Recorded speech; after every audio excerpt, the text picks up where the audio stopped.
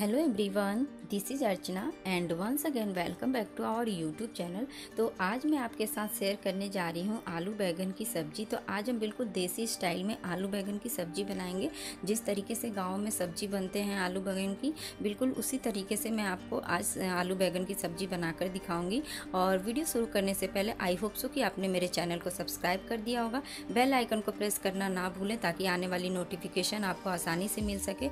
और अभी पसंद आती है तो प्लीज़ लाइक कर देना, ये फ्री ऑफ़ कॉस्ट है। तो चलिए ज़्यादा बात ना करते हुए फटाफट से रेसिपी स्टार्ट करते हैं।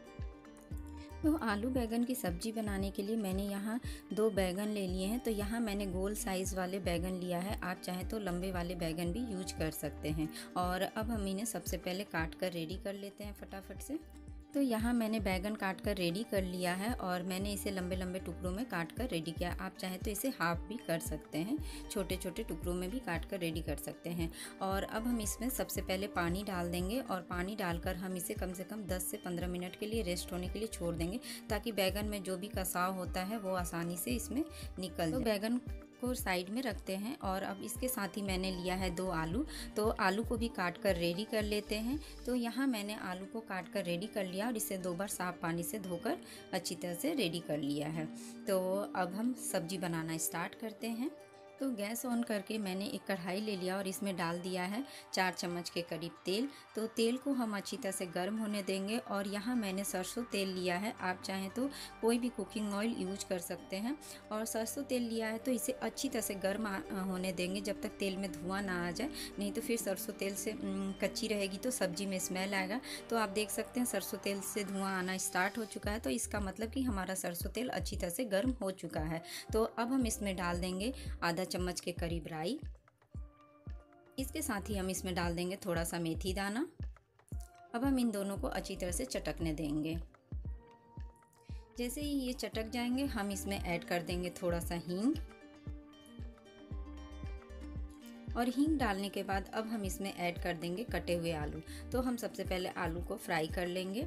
तो बहुत ज़्यादा इसे फ्राई नहीं करना है। दो से तीन मिनट के लिए हम इसे मीडियम आँच पर अच्छी तरह से फ्राई कर लेंगे।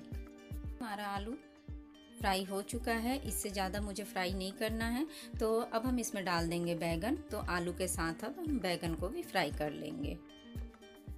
आप देख सकते हैं कि आलू बैगन अच्छी तरह से फ्राई हो चुका है। फ्रेंड्स तो अब हम इसमें डाल देंगे मसाले। तो यहाँ मैंने लिया था थोड़ा सा राई और लहसुन। इन दोनों को अच्छी तरह से पहले पीस कर रेडी कर पहले हम इसमें पीसे हुए मसाले ऐड करेंगे। इसके साथ ही इसमें डाल दूँगी एक चम्मच के करीब धनिया पाउडर। आधा चम्मच जीरा पाउडर थोड़ा सा काली मिर्च पाउडर लाल मिर्च पाउडर। तो लाल मिर्च आप अपने तीखा के अनुसार डालें कम या ज़्यादा कर सकते हैं। इसके साथ ही इसमें ऐड कर देंगे हल्दी पाउडर। हम इन सबको एक बार अच्छी तरह से मिक्स कर लेंगे और मिक्स करते हुए मीडियम फ्लेम पर ही हम मसाले को सब्ज़ी के साथ अच्छी तरह से भून कर रेडी कर लेंगे। थोड़ी देर मसाले के साथ सब्ज़ी को भूनने के बाद अब हम इसमें ऐड कर देंगे थोड़ा सा नमक। तो नमक आप अपने स्वाद के अनुसार डालें और नमक डालने के बाद हम इसे अच्छी तरह से मिक्स कर लेंगे और मिक्स करते हुए अभी हम इसे दो से तीन मिनट के लिए और भूनेंगे। फ्रेंड्स, मसाले के साथ सब्ज़ी अच्छी तरह से भूनकर बिल्कुल रेडी हो चुका है तो अब हम इसमें ऐड कर देंगे कटा हुआ टमाटर। तो यहाँ मैंने दो मीडियम साइज़ के टमाटर लिए थे और अब हम इन्हें टमाटर के साथ अच्छी तरह से मिक्स कर लेंगे। टमाटर को, तब तक सब्ज़ी को भूनेंगे जब तक कि थोड़ा सा टमाटर हमारा सॉफ्ट ना हो जाए। तो अच्छी तरह से मिक्स करने के बाद हम इसे ढक कर पकाएँगे ताकि टमाटर हमारा आसानी से सॉफ्ट हो जाए।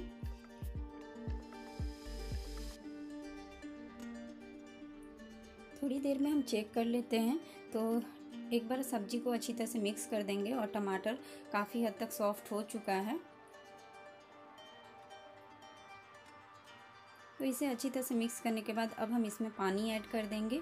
तो ग्रेव, यहाँ मैं डेढ़ गिलास के करीब पानी ऐड करूँगी। तो अभी मैं एक गिलास पानी डाल रही हूँ और पानी डालने के बाद इसे एक बार अच्छी तरह से मिक्स कर लेंगे। बाकी के बचे हुए आधा गिलास पानी भी मैं इसमें ऐड कर देती हूँ और इसे ढककर एक उबाल आने देंगे।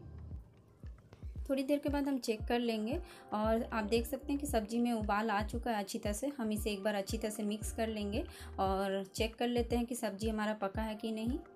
तो आप देख सकते हैं कि सब्ज़ी हमारा अच्छी तरह से पक चुका है।